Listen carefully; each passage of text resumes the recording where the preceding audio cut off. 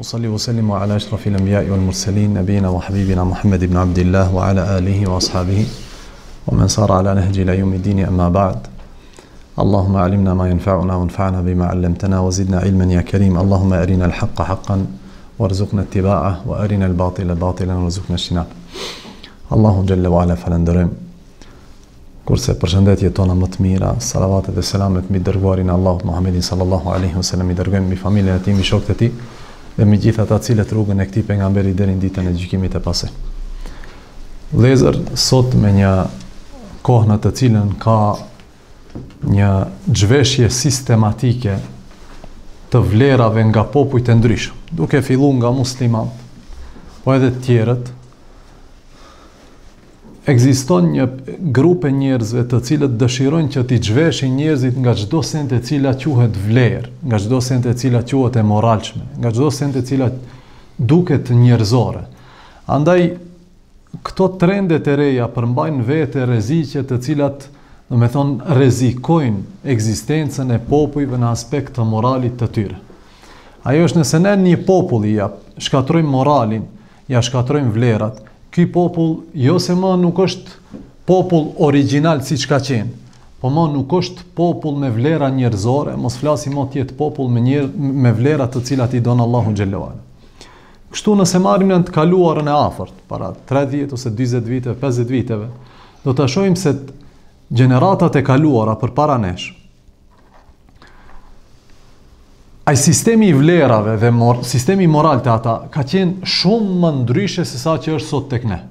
Nëse marrim një të ri i cili ka qenë në, në vitet e 20-ta të asaj kohe dhe një të ri i cili është një, në vitet e 20-ta sot, do ta shohim se i gjithë sistemi moral gati se ka ndryshuar nga ai i ri deri te ky i ri i cili është sot në mesin tonë. Ku është shkaku? Ka shumë shkaqe. Po një prej shkaqeve është Dobësimi i imanit tek besimtarët se vlerat morale janë gjëra të cilat i don Allahu dhe se përparimi i individit dhe shoqërisë dhe popujve nuk bëhet vetëm se me avancimin dhe kultivimin e këtyre vlerave në veten e tyre. Kështu që individi, nëse nuk kultivon këto vlerat si individ, do të jetë individ i dështum në aspekt familjar, në aspekt shoqëror, në aspekt fetar në çdo aspekt ky është individ i dështun. Për shkak se ky njeri ka dështuar në atë në të cilën ndoshta disa prej jo mosbesimtarëve nuk janë dështuar. Se pejgamberi sallallahu alajhi wasallam kur erdhi tek arabët, të cilët ju e dini se kishin gjitha llojet e devijimeve. Mirëpo prapë se prapë pejgamberi sallallahu alajhi wasallam nuk fliste vetëm se atë e cila është e vërtetë. Andaj thoshte innama bu'ithtu li utammime makarim al akhlaq. Jam dërguar që t'i plotësoj virtytet morale. Domethënë, jo që t'i fshij dhe të filloj nga fillimi, po ta plotësoj atë e cila vetëm se ekziston në teren. Ajo është tek disa njerëz. Unë kam ardhur që ta plotësoj. E ti mund ta marrësh me mend. Ka ardh me një shoqëri të cilët, të cilëve kur ju ka lind bijë, vajzë, e kanë varros vajzën gjallë. Me një shoqëri në të cilën djemtë e babës kanë trashëgu gratë e tija, jo nanën e vet, po nëse ka patë më shumë se një grua, ata kanë luftu se cili do ta trashëgon. Me një shoqëri në të cilën nuk i është ditë haku fukarasë dhe të dobëtit, i është marrë haku në çdo aspekt, po prapëseprapë kanë patë vlera të moralit. Andaj Pejgamberi salallahu alejhi ue selem nuk ka thonë, jo, ky popull s'ka kurrgjë. Jo kanë sende të mira. E unë kam ardh që t'i plotësoj këto të mira, se gati se është u harxhu ky sistemi i vlerave morale. E Allahu mu më ka dërgu në kohë, ku ka mundësi të plotësohet kjo gjë e cila vetëm se ka, domethënë rrënjë. Në shoqëritë tona, ku ka muslimanë, pa dyshim se ekzistojnë Sistemi i vlerave morale ekziston dhe është thellë i rrënjosur në kulturën tonë. Edhe kjo falë mirësisë Allahu xhelle uala. Dhe pas asaj prej sebepeve është ekzistenca e dinit Allahu xhelle uala në këto troje. Për shkak se përmes fesë Allahu xhelle uala, populli jonë ka trashëgu pjesë në kulturën e tyre nuk e dinë se është prej fesë. Po ai është prej dinit Allahu xhelle uala. Njerëz, ne nuk e dimë. Ne kemi lindë dhe kemi përjetu, e kemi pa ashtu, po nuk e dimë se ku është origjina dhe esenca e saj. Dhe një prej këtyre gjërave vëllezër, e cila më së shumti sulmohet, është një për të cilën dijetarët tanë, siç është Aisha radhiyallahu anha dhe të tjerët, kanë thënë është kryja ose përmbledhja e vlerave morale. Ai është turpi. Turpi. Andaj sot kur i thuhet dikujt mos se është turp, thotë jo be ky llaf është thënë para 50 vjetëve. Sot më nuk thuhet mos se është marre, mos se është turp. Fjala turp gati se nuk ekziston. E mos flasim ne për ndjenjën e turpësisë ta ndiejnë njerëzit. Edhe kjo fatkeqësisht në xhami, në shkollë, Në vende ku duhet turpi të kultivohet si vlerë, turpi shikohet si gjë e cila është e prapambetur dhe shikohet si gjë e cila e lën njeriun prapa dhe nuk e lën njeriun që të avancon, si në aspekt individual ashtu edhe në aspekt shoqëror. E në dinin e Allahu xhelle u ala turpi ka krejtësisht dispozitë dhe vend tjetër. Andaj dijetarët kanë thënë prej fakteve që tregojnë vlerën e turpit tek njeriu është se në gjuhën arabe turpi si turp është quajtur el haya'u. Dhe ky emër është marrë nga termi el hayatu, që domethënë çfarë? Jetë. Andaj ka thonë turpi është jetë për moralin e njeriut. Merre këtë jetë, moral te ky njeri nuk ka mbet. Andaj është quajtur turpi haya Për shkak të jetës, njëjtë sikurse jeta ose shiu që e ngjall tokën e vdekur, edhe turpi e ngjall njeriun në aspekt të moralit dhe imanit të tij. Për këtë shkak pejgamberi i Allahut sallallahu alaihi wasallam i kish ardh një delegacion. Dhe në mesin e tyre kish një burrë, Emrin e kishte Al-Ashaj Abdul Qais. Ky burrë kishte do cilësi të cilat pejgamberi i Allahut sallallahu alaihi wasallam i vërejti menjëherë. Andaj gjatë bisedës pejgamberi i Allahut alaihi salatu wasalam i tha atij diçka e cila domethënë e la kët Eshexhin pa tekst dhe pa koment. Si pejgamberi i Allahut sallallahu alaihi wasallam e vërejti kët tek unë dhe sa ky njeri është i kujdesshëm për sjelljet dhe fjalët dhe lëvizjet tona. Andaj i thot pejgamberi i Allahut sallallahu alaihi wasallam o ti burrë, ja Ashaj inne fika khislatan. Ti ke dy cilësi, dy vlera, të cilat i don Allahu dhe i dërguari i tij.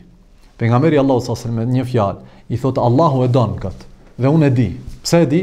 Se unë jam i dërguari i tij. Gjë e cila e bën atë me mendu. I thot unë dhe Allahu që më ka dërgu mua i duam këto dy gjëra. I thot çfarë janë ato Muhammed alayhi salatu wasalam. Thot el hilmu wal anaatu, në transmetim el hilmu wal haya wal hayau. Thot butësia dhe maturia, në transmetim tjetër butësia dhe turpi. E pyet pejgamberi i Allahut alejhis, ai e pyet pejgamberin e Allahut sallallahu alaihi wasallam, i thot: "O Muhammed, a i kam këto se i kam përfitu apo Allahu mi ka dhënë?" I kam përfitu nga familja ime, nga baba im, nga nana ime, apo Allahu xhelle uala mi ka dhënë? Thjesht pejgamberi i Allahut alejhi sallatu wasalam i thotë këtij burri, këtë e don Allahu.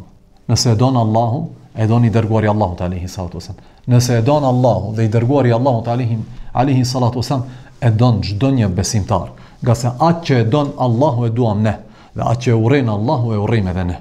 Kjo është matematikë e thjeshtë e besimtarit. Për shkak se siç ka thënë Ibn Qayimi rahimehullah, dashuria e besimtarit për diçka nuk është vetëm se si pasojë e dashurisë së besimtarit për Allahun xhelle uala. Andaj në përgjithësi, besimtari e don atë që e don Allahu dhe nuk e don atë që nuk e don Allahu xhelle uala.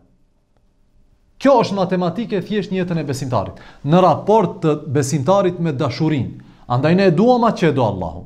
Dhe dashuria jonë për pejgamberët, dashuria jonë për melaqet, nuk është vetëm se si rezultat i dashurisë tonë për Allahun xhelle ue ala. Pse ne e duam pejgamberin e Allahut alejhi salatu ue selam, më shumë se çdo krijesë tjetër, është ngase Allahu e ka dasht më shumë se çdo krijesë tjetër.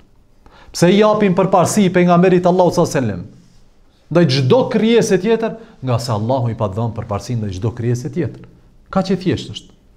Për këtë shkak ka thënë Ibn Kajimi, kjo është dashuria e besimtarit për Allahun xhelle ue ala. Të duash atë që e don Allahu dhe mos ta duash atë që nuk e don Allahu xhelle ue ala. Në një hadith tjetër ka thënë pejgamberi i Allahut sallallahu alaihi wasallam, "El haya'u min al-iman wal imanu min al-janna." Ka thënë Turpi është prej imanit, kurse imani është prej xhennetit ose në xhennet. Domethënë, do të rezultot, do të rezulton me hyrjen e bartësit të turpit në xhennet. Me fjalë tjera, ai që ka iman dhe ka turp do të jetë në xhennet. Vazhdon dhe thotë wal jafa'u wal badha'u min al jafa'i wal jafa'u fi nar. Ndërsa Paturpësia është prej arrogancës, kurse arroganca ku e ka përfundimin? E ka në zjarr, Allahu na ruajtë. Për këtë shkak besimtarit nuk i takon që të jetë arrogant. Edhe kur e ka të vërtetën, po Allahu ta ka dhënë të vërtetën, mirëpo arroganca nuk ia shton të vërtetës bukurinë, përkundrazi, arroganca Të vërtetën e bën të shëmtuar. Andaj njerëzit përreth teje mendojnë se ti nuk e ke të vërtetën, po ti thjesht e ke marrë këtë të vërtetën dhe me veprimet dhe sjelljet tua e ke shëmtuar derisa të tjerët mendojnë se kjo nuk është haku, se haku s'ka mundësi të jetë i tillë.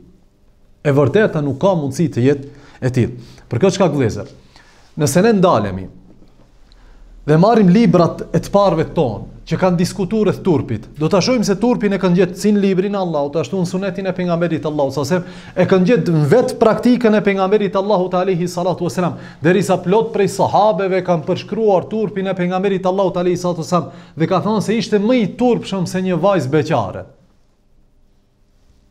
Vajzat beqare në të kaluarën, ndoshta në kohën e haxhiut kanë qenë t'turpshme. Po sot më nuk është ashtu. Allahu na faltë. Dhe na përmirësoftë gjendjet e familjeve tonë. Pejgamberi alejhi selam ishte më i turpshëm se një vajzë beqare ka për qëllim kur t'i thuhet vajzës beqare, a dëshiron të martohesh? Çfarë thotë ajo? A thotë diçka? Jo hesht. Heshtja e saj është pranim. S'ka nevojë të folë. Pse? Sepse të folurit e saj tregon se ajo është e ngutshme dhe ka një lloj çfarë? Një lloj arrogance. Andaj ajo hesht, nuk flet. Beqarja, ndërsa ajo e cila ka qenë e martuar, domethënë e ve ose e ndame, ajo flet. Ngase është, domethënë, ka kalu një fazë më shumë se sa ajo e parë. E sahabët kur e kanë përshkruar pejgamberin e Allahut sallallahu alajhi wasallam, kanë thënë se ishte më i turpshëm se një vajzë beqare. Cili prej nesh është kaq i turpshëm? Dhe ne jemi tu fol për një burrë i cili ishte imam xhamie, i cili ishte udhëheqës shteti, i cili ishte lider shpirtëror, i cili ishte gjithçka për besimtarët, babë, nanë, vëlla e motër e gjithçka. Edhe ka pat këtë turp alejhi salatu selam, ngase turpi nuk e bën njeriun të poshtruar në një shoqëri, Përkundrazi, e bën njeriun të ngritur siç do ta shohim me lejen e Allahut xhel-le ue ala. Dhe prej çështjeve të cilat dijetarët i kanë diskutu, turpi, a është diçka me të cilën lind njeriu dhe s'ka mundësi as të shtohet as të pakësohet, apo ka mundësi që njeriu ta zhvillon dhe ta kultivon si vlerë në veten e tij. Dhe dijetarët kanë, domethënë, kanë dhënë argumente të ndryshme rreth kësaj çështje. Po ajo çka neve na intereson, është se turpi si turp, njeriu lind me të. Çdo një njeri ka lindë me turp, dhe kjo ku vërehet? Vërehet në turpin e fëmijëve.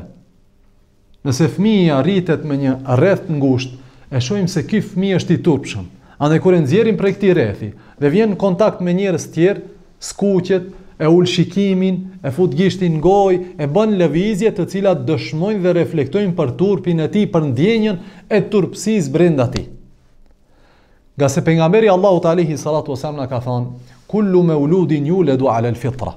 Çdo foshnje lind në fitra. E çfarë domethënë fitra? Dijetarët kanë thënë natyrshmëri e pastër. E cila e shtyn njeriun kah dashuria për gjërat e mira. Domethënë, me këtë natyrshmëri. Mjafton njeriu me këtë natyrshmëri që t'i don sendet e mira dhe ta urren padrejtësinë dhe gjërat e shëmtuara.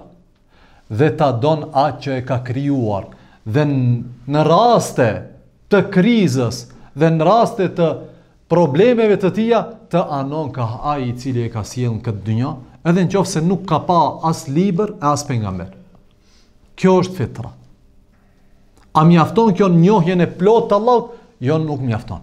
Po mjafton në njohjen se ka dikush që e ka krijuar, se ka dikush që e mbikëqyr dhe se ka dikush i cili kujdeset për këtë njeri. Dhe prej çështjeve më të rëndësishme, me cilën Allahu e ka krijuar njeriun në këtë natyrshmëri, është turpi. Po pejgamberi i Allahut sallallahu alajhi wasallam vazhdon hadithin dhe thotë: Çdo foshnje lind në natyrshmërinë e tij. Mirëpo, thotë prindërit e tij, Yuhawidanihi au yunassiranihi au yumajjisani. Prindërit e tij ose e bëjnë të krishter, ose e bëjnë hebrej, ose e bëjnë zjarrputist. Me fjalë tjera, njerëzit që janë përreth tij janë faktor të devijimit të tij nga kjo natyrshmëri me të cilën Allahu xhel-le ue ala e ka krijuar. Nëse ka mundësi që këta njerëz ta devijojnë këtë foshnje nga çështja kryesore, ajo është imani i tij në Allahun, Pse mos të ketë mundësi që ta devijojnë nga natyrshmëria e tij të pastër në çështjen e turpit? Andaj fëmijën e turpshëm e bëjnë të paturpshëm, të paturpshëm. Ky fëmijë i cili ka pat një dozë të mirë të turpit, pas disa viteve bëhet fëmijë i paturpshëm. Andaj flet ku s'duhet të fol, bën atë çka s'duhet ta bëjë dhe flet dhe bën përpara njerëzve të cilat vepra të cilat nuk duhet që t'i bën. Dhe kjo tregon se ky fëmijë është rrit me një rreth devijues nga ajo me të cilën Allahu xhel-le ue ala e ka krijuar. Për shkak se në hadithin e Eshexh ibnu Kajsit Abdul Kajs që e përmendëm, ai e pyeti pejgamberin sallallahu alaihi wasallam, "Ya Rasul Allah, a e kam përfitu vetë kët?" Unë jam ai i cili ka ka kultivu këtë vlerë gjatë jetës time dhe e kam përfitu prej këtu atje, apo Allahu ma ka dhanë? Tha jo Allahu t'i ka dhanë. Edhe butësinë, edhe turpin ose matësinë, si ka ardh me një prej transmetimeve. Allahu ta ka dhanë këtë. Mirë, po nëse Allahu ia jep dikujt, a duhet kjo të kujdeset dhe të kultivohet, apo thjesht nëse ta jep Allahu ti e ke? Jo, duhet të kujdeset dhe duhet të kultivohet.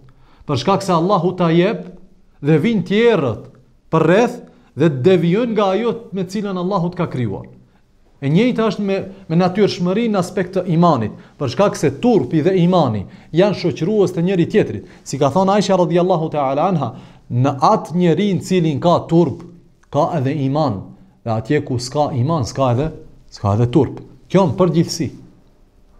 Andaj kur njeriu e shef një fëmijë se rritet me një rreth, në cilin nuk ka turp, e kuptojmë se ky fëmijë pas disa viteve, kjo është ajo lëvizja e natyrshme dhe rritja e natyrshme e këtij fëmijë, se ky fëmijë pas disa viteve nuk do të jetë i turpshëm.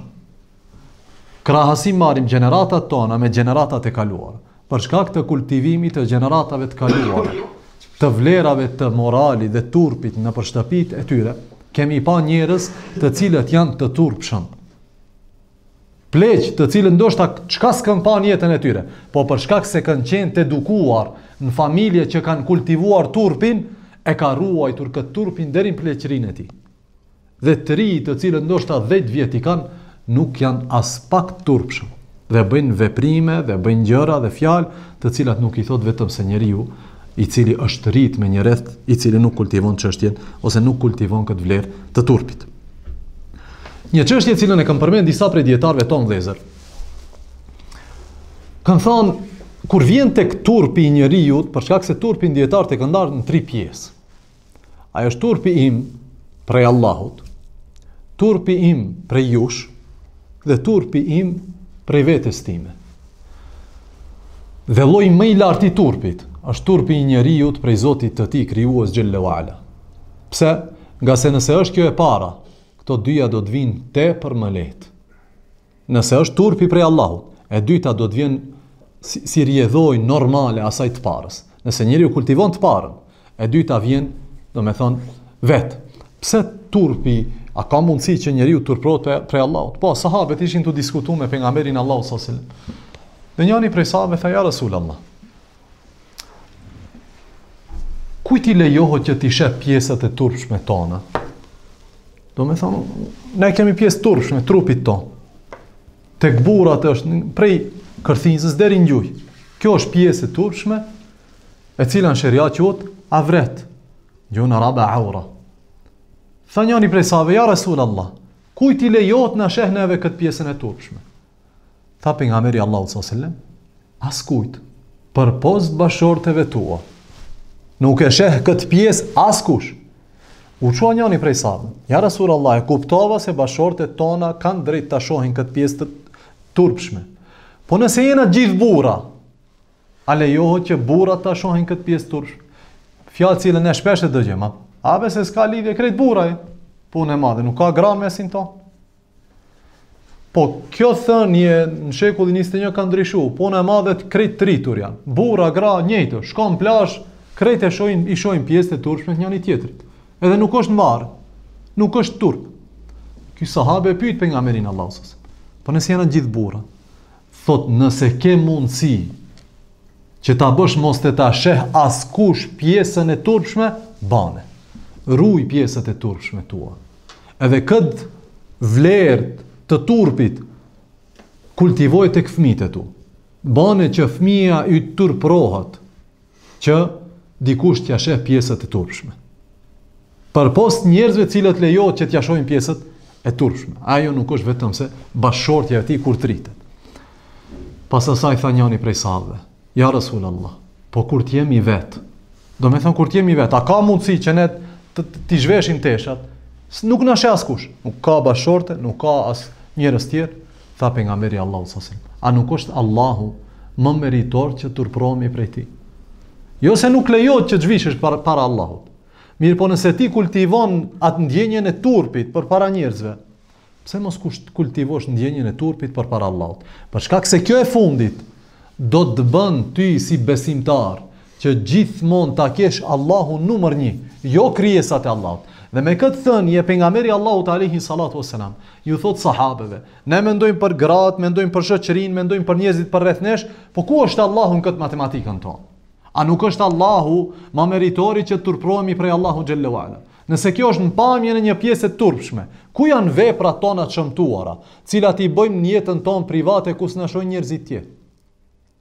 Sa e sa prej nesh vëllezër, kujdesen prej njerëzve mos mos t'i shohin kur e bën një gjynah, apo e çon shikimin e tij majtas dhe djathtas dhe e bën këtë gjynah. E mbyll derën e shtëpisë së tij dhe dhomës së tij dhe e bën këtë gjynah. Mshehet ku nuk e fshehet ku nuk e sheh askush dhe e bën këtë gjynah. A nuk është Allahu më meritor që ne të turprohemi prej tij xhel-le ue ala. Dhe këtë nuk e bën vetëm se besimtari, i cili e njeh Allahun ashtu siç meriton Allahu xhel-le ue ala të njihet. Dhe kur do të flasim për gjërat cilat mbjellin turpin në zemrat e besimtarëve, kjo gjë është numër një. Fudhejl ibn Ijadhi rahimehullah ka thënë një thënie të cilën nëse e mbajmë këtë thënie për sot, nëse e mësojmë vetëm këtë nga kjo ligjëratë mjafton inshallah teala. Fudhejlin shumica prej jush e kanë dëgju. Është një prej dijetarëve tonë, i cili plot prej atë anën e keqe të jetës dhe të sherrit nuk e ka mësuar prej librave, as nuk e ka mësuar prej fjalëve të mësuesve të tij. E ka mësu nga jeta e tij private. Pse? Se ka qenë kah pala tjetër. Kah cila palë? Kah pala e njerëzve të cilët bëjnë vepra të këqija. Kah pala e njerëzve të cilët janë njerëz të sherrit. Derisa dashti Allahu dhe e udhëzoi. Një natë prej netëve, kish vendos që t'i plaçkit do udhëtarë. Ky ka qenë bandit. Është ndalë rrugës dhe ka prit që të kalojnë kalimtarë dhe i ka plaçkit. Një natë prej netve ka pasë qenë do udhëtarë dhe ka qëndru, ka prit, kur t'i zë gjumi ata, të hyjë dhe t'ua vjedh sendet e vlefshme. Andaj njoni prej tyre është çu dhe ka falë namaz natë. Dhe gjatë namazit ka lexu fjalën e Allahut, Elem je'ni liledhina amenu en tahsha'a kulubuhum min dhikrillah. A nuk ka ardhë koha që besimtarëve t'ju frikësohen zemrat nga Përmendja e Allahut, nga dhikri i Allahut. Fudejli ka qenë arab, arab, e ka kuptu fjalën e Allahut xhelle ue ala. Andaj, e ka dëgju këtë fjalë. Ky burri e përsërit. Thot elem je'ni liledhina en tahsha kulubuhum min dhikrillah. A nuk ju ka ardhë koha besimtarëve që t'ju frikësohen zemrat prej dhikrit të Allahut? Fudejli u ndal dhe tha, bela ja rabbi. Po si jo Allah.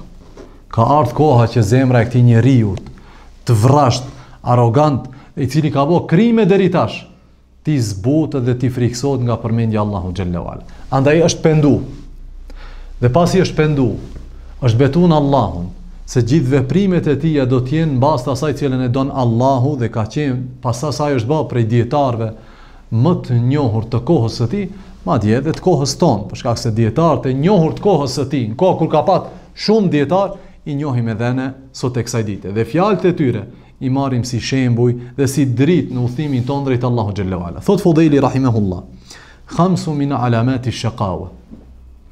Pes alamete, pes shenja janë prej shenjave të dëshpërimit të një personi. E dëshpërimi është e kundërta e lumturisë. Kush i ka këto pesë shenja, është nis në rrugën e dëshpërimit, Allahu na ruajt. Thot e para, el qaswatu fil qalb. Ngurcimi i zemrës. Dëgjon fjalët e Allahut, lexon fjalët e Allahut, lexon raste të ndryshme nga jeta e pejgamberit të Allahut alayhi salatu wasalam. Lexon fjalët e Allahut rreth ditës së gjykimit, shpërblimin dhe dënimin për ata cilët do të vijnë në ahiret. Zemra nuk lëviz, asnjë element të lëvizjes nuk jep. Si me nuk qenë e gjallë. Dhe kjo thotë është shenja e parë e dëshprimit të këtij personi. Se zemra i është ngurcu. Edhe ngurcimi i zemrës vëllezër, siç e dini dhe keni dëgju ndoshta rreth saj, është prej çështjeve më të rrezikshme me cilat mund të ballafaqohet njeriu. Hyn në namaz dhe del prej namazi, jo se është lodh fizikisht, nuk e di se ku ka qenë. Mentë i ka pat krejtësisht tjetërkund. Me u lodh fizikisht ti thu ky ka qenë aty. Nuk është aty. Dhe kjo tregon për gurtësinë, gurtësinë dhe forcimin e zemrës së tij. Se zemra i është smu me një sëmundje të rrezikshme. Allahu na përmirësoftë gjendjen. Thotë e para qaswatul qalb, gurtësimi i zemrës. E dyta wa jumudul ain, dhe thatësia e syve. Çfarë thatësie është kjo? Kjo lidhet me këtë të parën. Ai, atij që i është ngurcu zemra, i janë tha sytë. Jo se s'kanë lang, kanë lang. Mirëpo nuk i lotojnë sytë. Burri a qan, qan. Ka qajtë burri më i mirë, Muhammedi a.s. Ai është njeriu më i mirë, shembulltyra për burrat dhe gratë, sallallahu alaihi wasallam. Ai qante, edhe atë nuk qante pak. Thotë Aisha radhiyallahu ta'ala anha, pejgamberi sallallahu alaihi wasallam hynte në namaz natë. Dhe e kishte kokën e tij përulur dhe gjoksi i vlonte sikurse vlon një kusi, një tenxhere me ujë. Dhe mjekra iu lagte iu boshte e gjithë me lot. Ngase zemra e butë ka reflektu në lotimin e syve, kur ngurcohet zemra, thahen sytë. Andaj thotë Fudajli, atij cilit i është ngurcu zemra, do t'i thahet syni, dhe kjo është alamet i domosdoshëm i lidhur njëna me tjetrën. Vazhdon dhe thotë, wa qillatul haya, dhe ky person nuk ka turp, ka tepër pak turp. Niveli i turpit tek ai ka shku krejt. Andaj recept Më i mirë për dëshprimin e njerëzve është ta ngurcon zemrën, mos qan për Allahun, zhveshet prej kësaj vlere dhe këtij virtyti, ai është turpi, të katërtën thotë, Wa rraghbetu fid dunja, dëshira e zjarrtë për dynja. I gjithë muhabeti i tij është si është dynjaja. si shkon puna, ka, ku ka shku puna, si ka hup puna, si ka ardh puna, e gjithë gajlja e tij është se si do t'jetë kjo dynja. Kurse Allahu nuk e ka kriju për këtë dynja. Allahu e ka kriju që me këtë dynja të fiton diçka më të madhe. E jo për shkak të dynjasë të humbë më të madhen. Ngase të parët tonë kanë thonë, Kalilun minet dunja, Yunsike al-akhira. Ose yukhsiruke kathir min al-akhira. Pak prej kësaj dynjaje të bën që të humbësh shumë prej ahiretit. Ose pak prej kësaj dynjaje të bën që ta harrojsh ahiretin. A ve thotë pak o kjo?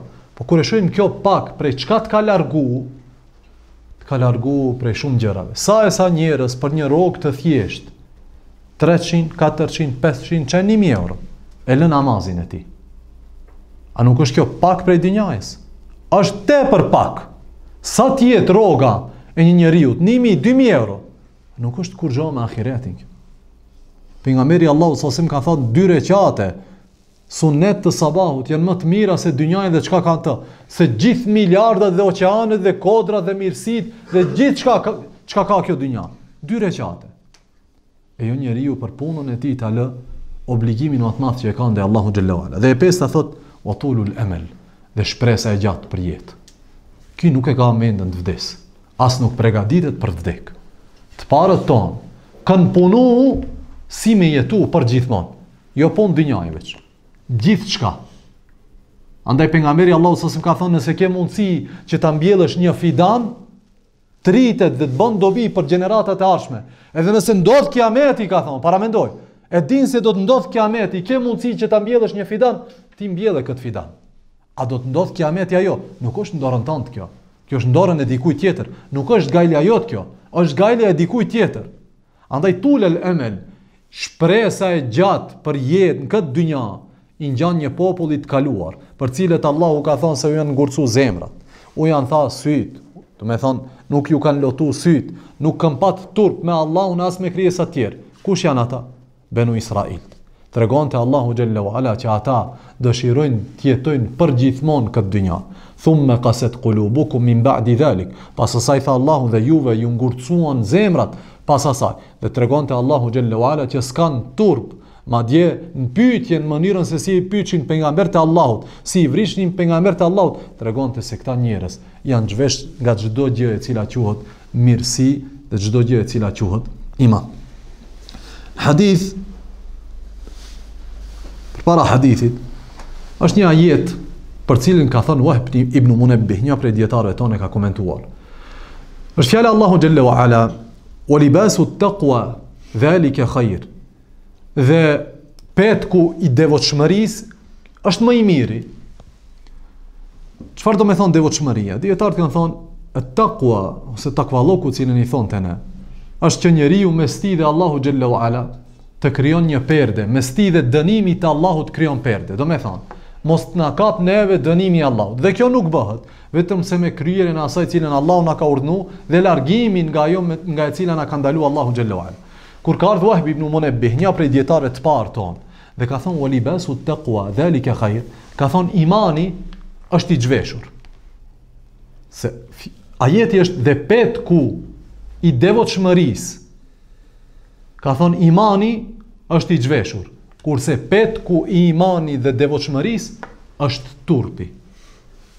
Nuk vishet ka thonë imani dhe devotshmëria me diçka më të bukur se turpi. Andaj në komentimin e kësaj fjale të Allahut xhelle ve ala ka thonë se Allahu i referohet turpit se kjo është petku më i bukur, që njeriu të ketë iman dhe t'ia vesh këtij imanit petkun e turpit.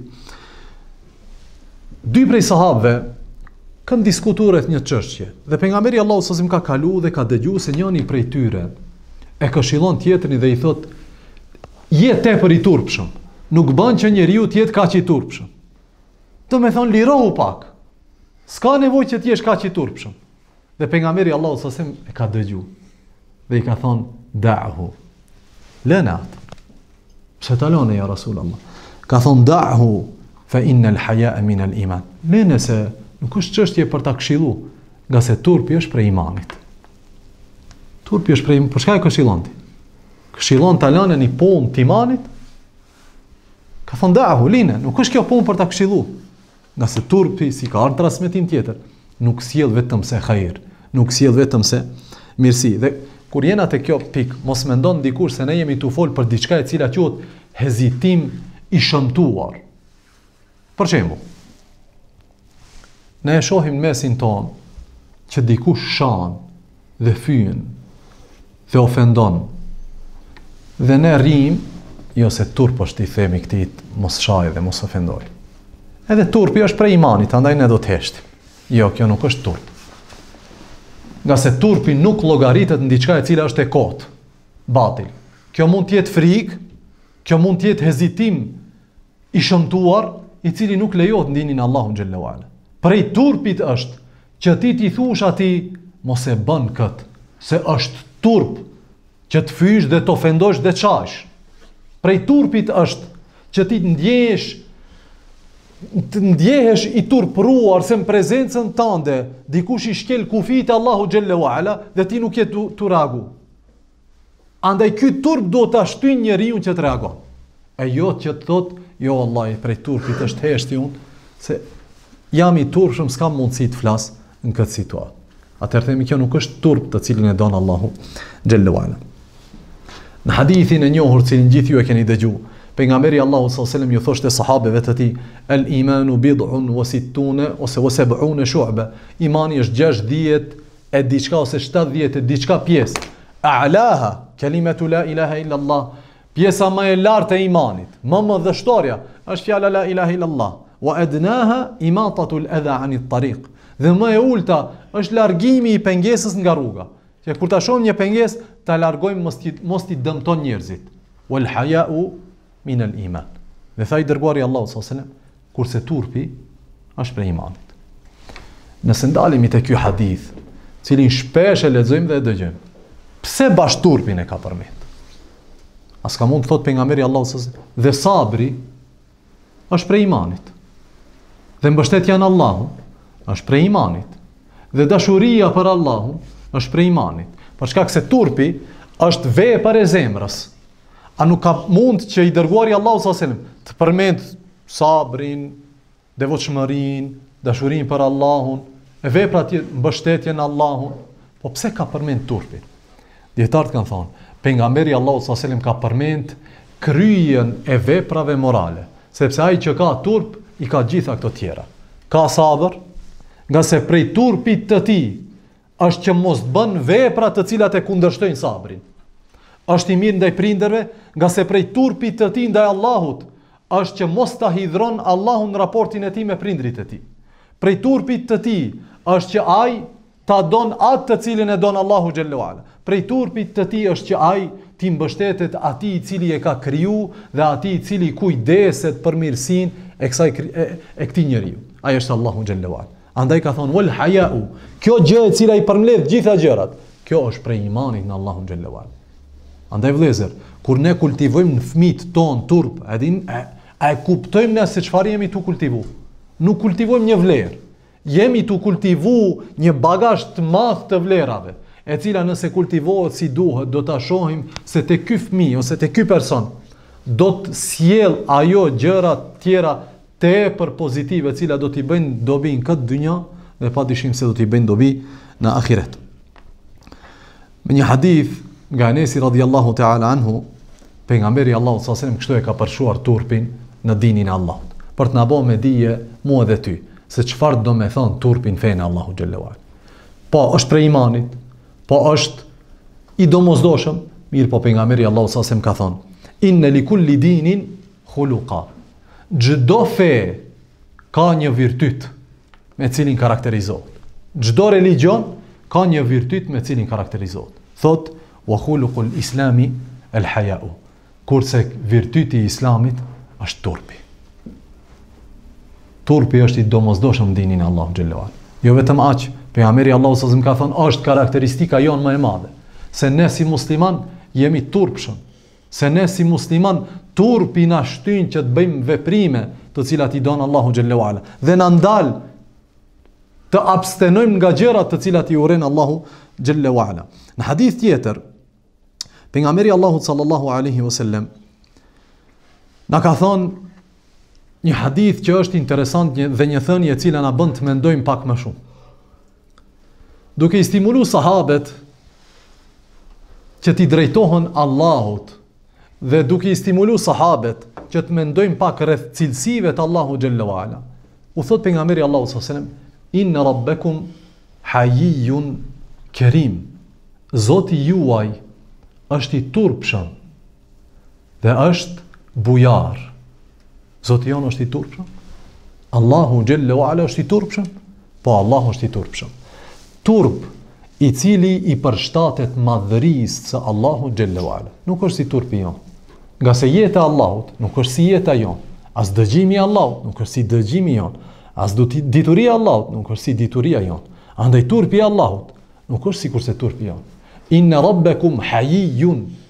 Kerim, Zoti juaj është i turpshëm dhe është bujar. Pse ja Rasul Allah? Ku është turpi i Allahut? Në cilat situata është i turpshëm? Vazhdon dhe thot pejgamberi i Allahut s.a.s. Jestahji min abdihi idha rafa'a jedejhi ilejhi en jeruddehuma sifra. Turprohet që kur robi i tij t'i çon duart me dua kah ti, t'i kthen duart bosh.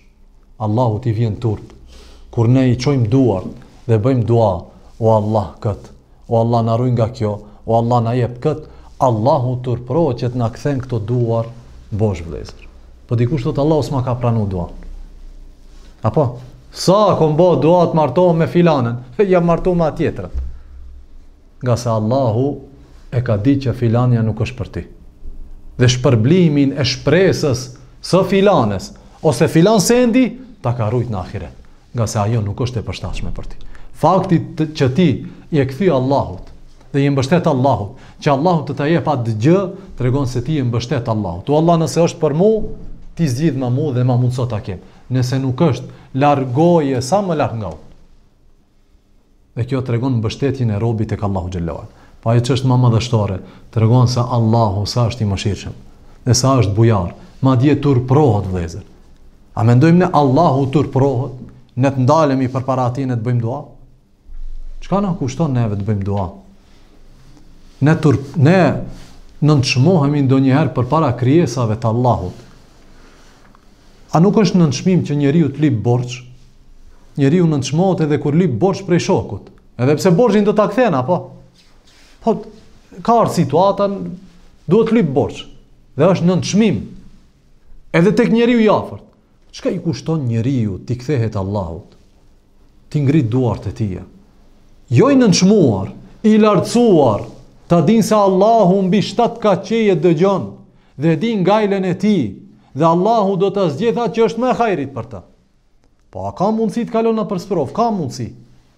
Se kjo jetë nuk është jetë në të cilën ne do të kënaqemi dhe do të gëzojmë atë lumturinë më të madhe. Kjo jetë është jetë sprovash, kurse jeta e lumturisë, ajo të cilën ne synojmë, është pas kësaj jete. Andaj puna jonë duhet të dëshmonë se ne lumturinë e lipim për në ahiret. Edhe pse këtë lumturi të cilën na ka dhënë Allahu pjesërisht në këtë dynja, nuk është vetëm se si rezultat i mbështetjes tonë në Allahun xhel-le ue ala.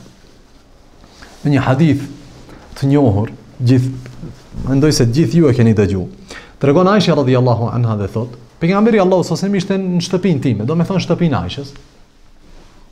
Dhe thot ishte i ulur në një formë në të cilën ishte shpalos diçka prej kofshës së pejgamberit të Allahut alayhi salatu wasalam.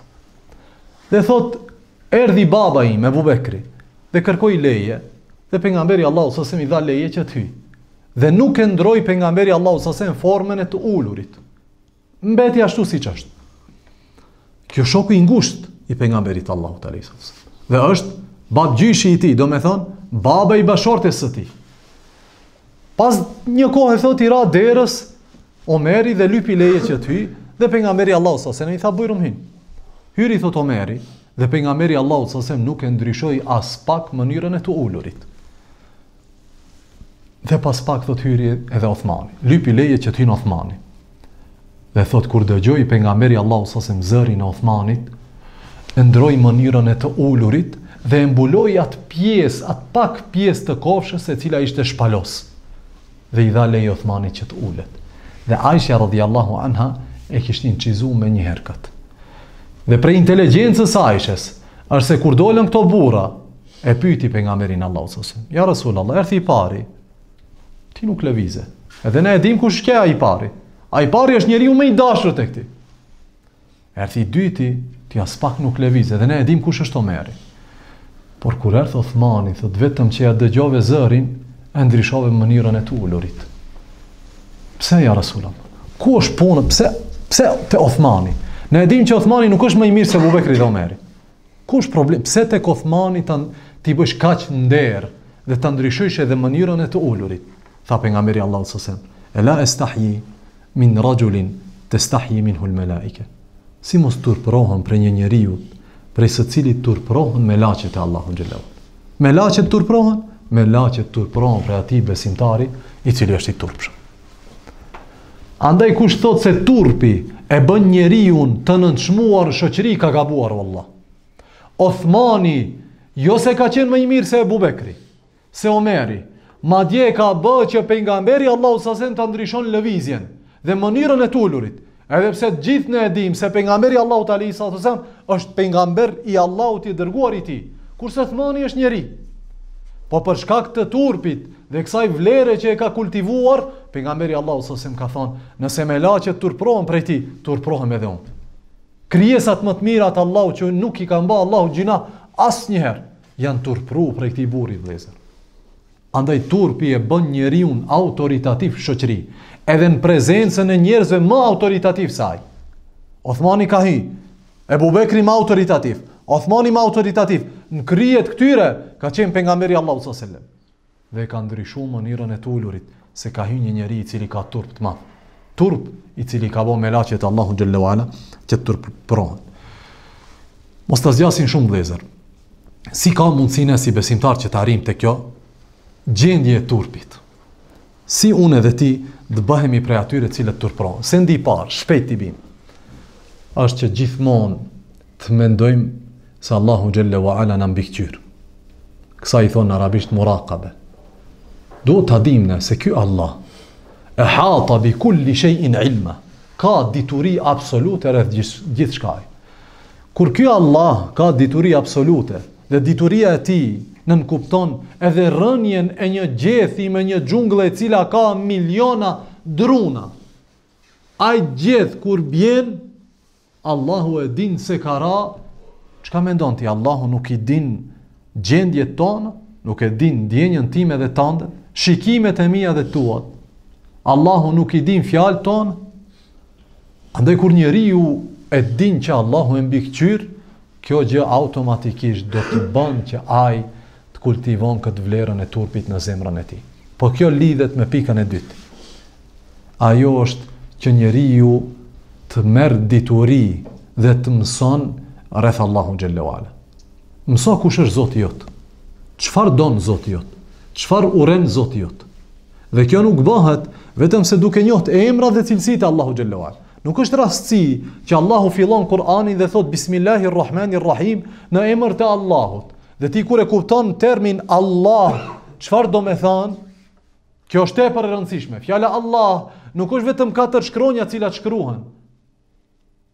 Ky term, kjo fjalë e Zotit ton xhelle ue ala tregon që ky Zot xhelle ue ala është i vetmi Zot që meriton adhurimin.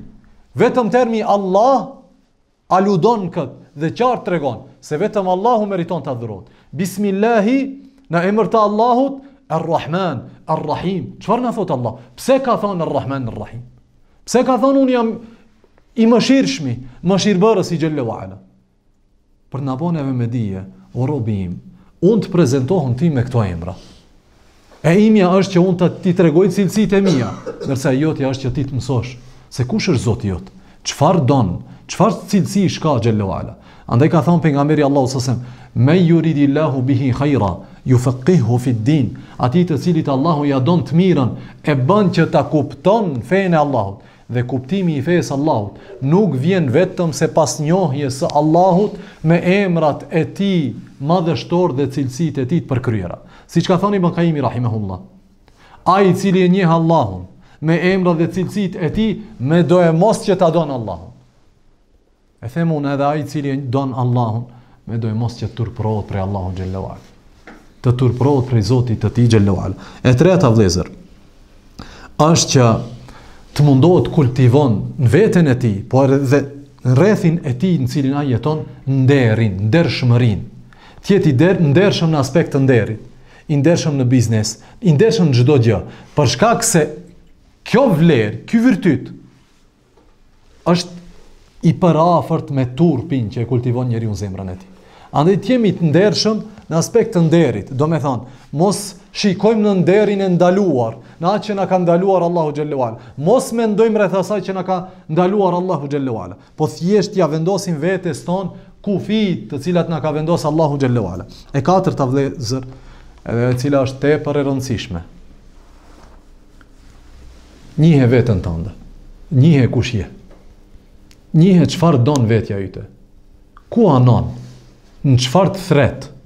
Për shkak se nëse e njeh veten tande, i njeh rreziqet të cilat vijnë nga vetja yte. E ka thonë Jusufi alejhi selam, siç ka thonë Allahu në Kur'an, inne nefse le emmaretun bis-su. Me të vërtetë, vetja e njeriut urdhnon të keqe. Egoja e tij urdhnon të keqe. Andaj, ne kemi pa njerëz të cilët ndoshta kanë jetu në rreth më konservativ, ndoshta edukatë familjare ose në katun ku ka jetu, njerëzit kanë qenë pak më, domethonë, nuk kanë qenë të lëshum në çështje të paturpshme, po kur është largu prej aty i ka ba gjitha gjërat e ndaluara. Pse? Larg shpisë dhe vatanit, larg babës dhe nanës, nuk më sheh askush. Kjo ngase ky njeri, Nuk e njeh veten e tij si duhet. Ai ai edhe duke qenë vendin e tij, vetja e tij e ka urdhnu, mirëpo ka pat do barriera të cilat e kanë ndalu nga veprimi i këtyre gjërave. Njihe veten tënde, se ai njeri i cili e njeh veten e tij, i njeh rreziqet të cilat vijnë nga nefsi i tij, nga vetja e tij. Andaj i ndalon këto rrugë, të cilat nga prej të cilave vijnë rreziqet. I mbyll këto rrugë. Dhe e din nëse unë nesër vij në situatë, ku këto rreziqe mund eventualisht të më devijojnë, s'ka mundësi që të ndodhë kjo, ngase e kam kuptu realitetin e vetes time. Dhe mundohet dalëngadalë që të lufton, të bëjë xhihad me veten e tij. Vetja të shty, ajo egoja jote të shtyn që të bësh diçka, ti i thu jo, nuk bën kështu. Kur ajo nuk don të bëjë diçka, ti mundohesh me mendjen tënde, Që ta bindësh veten tënd se duhet ta bëjmë këtë, se këtë e don Allahu dhe se kjo është e dobishme për mua në dynja dhe në ahiret. Andaj njohja e vetes tonë është kyçe vëllezër në zhvillimin e çdo lloj vlere të moralit. Në shtimin e imanit tonë, në shtimin e dashurisë tonë për Allah, kjo është kyçe. Ngase njeri i cili nuk merret me veten e tij, mos mendo se ky njeri do të bëhet diçka. se ai nuk e njeh më atë që është brenda tij. Mos flasim më për gjëra të tjera. Tjetra vëllezër është përzgjedhja e shoqërisë. Ngase është e pamundshme, që me një shoqëri ku janë njerëzit e turpshëm, të vjen një i paturpshëm dhe të bën çfarë të don. Po ai mund të bën, po një herë. Dhe kjo më s'përsëritet, se ata më nuk rrinë me atë. Ose largohen, ose e ndalojnë nga ky veprim.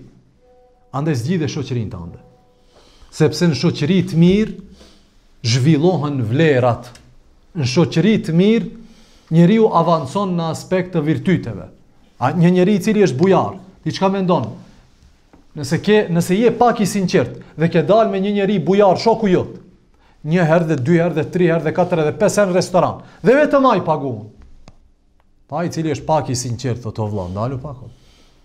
S'mund më vetëm ky të paguaj. Po ai thot, un paguaj se un e dua se bujar jam. Po ky tjetri çfarë thot?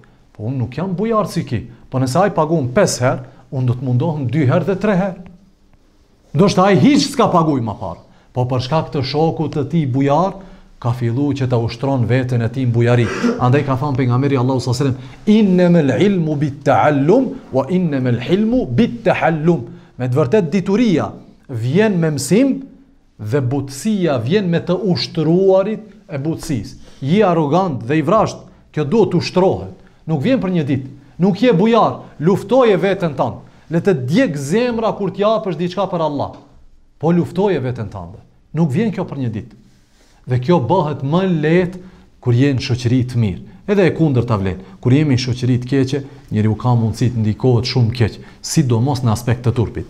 Njeriu kultivon turpin e tij gjatë gjithë jetës, në aspekt familjar, në aspekt individual dhe hyn me një shoqëri të cilët nuk e kanë ngajle turpin, nuk kujdesen çfarë flasin, nuk kujdesen çfarë veprojnë, nuk kujdesen ku lëshojnë sytë. dhe fjalë dhe veshët e tyre, dhe ky njeri e sheh si për 2 muaj ka haru atë që e ka ndërtu për 30 vjet. Për 2 muaj ka degjeneru dhe, dhe është prish. Për shkak të ndikimit të madh të shoqërisë përreth tij.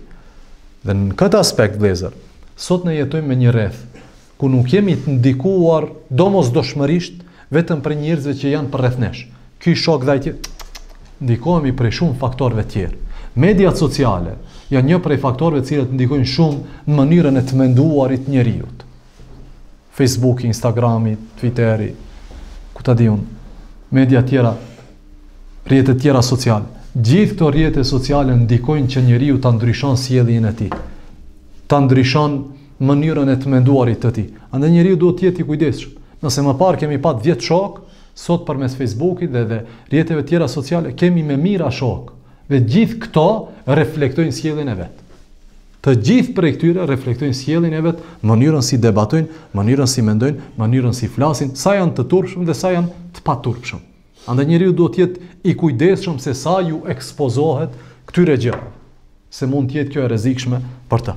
Tjetra vëllezër është që njeriu të kujdeset në rrethin e tij të ngushtë, në rrethin familjar, ku je prind ose ku je fëmijë i babës dhe nënës tande që të kultivojnë turpin. Po turpi të fillon nga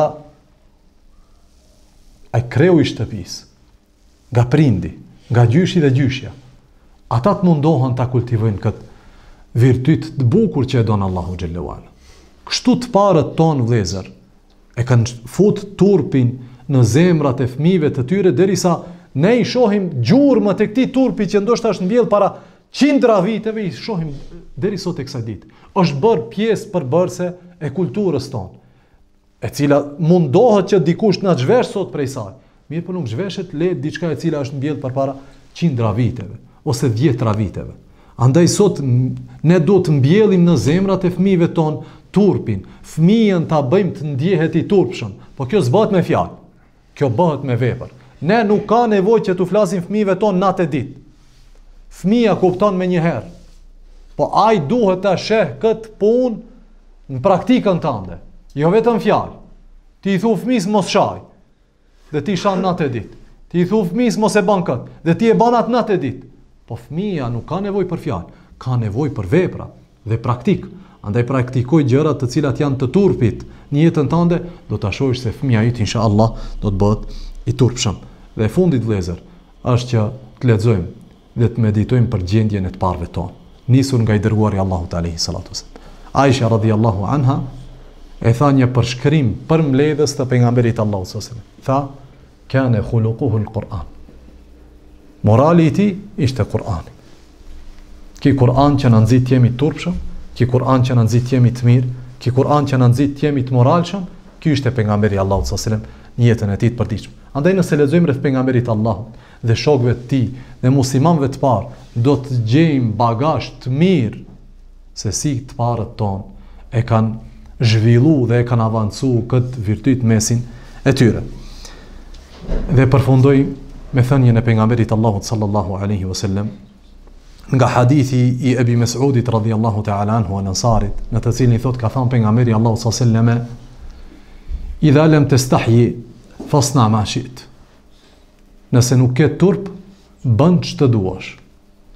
Ka thënë pejgamberi Allahu sallallahu alaihi wasallam, kjo është prej porosive të pejgamberllëkut dhe pejgamberëve të mëparshëm.